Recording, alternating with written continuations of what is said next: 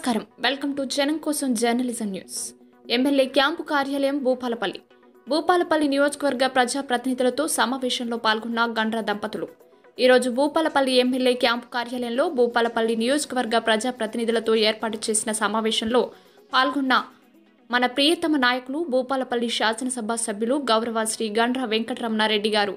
భూపాలపల్లి జిల్లా తెరాస పార్టీ అధ్యక్షురాలు వరంగల్ జిల్లా ప్రజా పరిషత్ చైర్పర్సన్ శ్రీమతి గండ్ర జ్యోతి రెడ్డి గారు ఈ సమావేశంలో గండ్ర మాట్లాడుతూ ఈ కార్యక్రమంలో Bhupalpally municipal chairperson vice chairman town and మండల పార్టీ ప్రెసిడెంట్ ప్రధాన కార్యదర్శి కోఆప్షన్ సభ్యులు కౌన్సిలర్లు యూత్ ప్రెసిడెంట్ ఎంపీపీ జెడ్పీటీసీలు మండల పార్టీ ప్రెసిడెంట్లు ఫ్యాక్స్ చైర్మన్ టీబీజీకేఎస్ నాయకులు గౌడ సంఘం నాయకులు జిల్లా ముఖ్య నాయకులు కార్యకర్తలు తదితరులు పాల్గొన్నారు.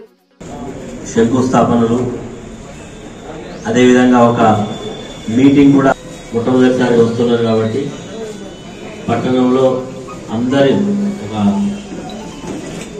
పార్టిసిపేషన్ తోటి ఒక మంచి సభను కూడా పెట్టుకోవాల్సినటువంటి పరిస్థితి అనే ఉద్దేశంతో మిమ్మల్ని అందరూ కూడా వినడం జరిగింది.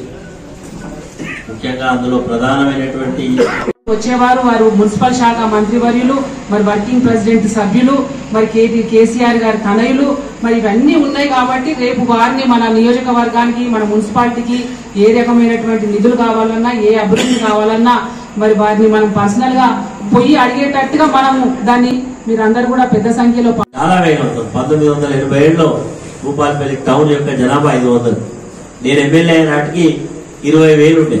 ఈ పట్టణంలో మొత్తం కూడా ఇరవై వేలు.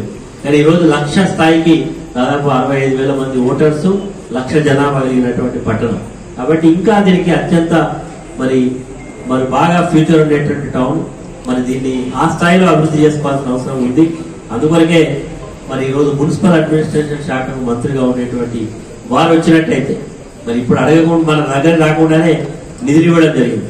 ఎప్పుడైతే ఒక ప్రాంతానికి వచ్చి మరి ఇక్కడ మనతో మమేకం అవుతారో వారి మీద కూడా రెస్పాన్సిబిలిటీ అనేది బాధ్యత అనేది రెట్టింపు అవుతుంది కాబట్టి వారిని మనం ఆహ్వానించడం జరుగుతున్నది.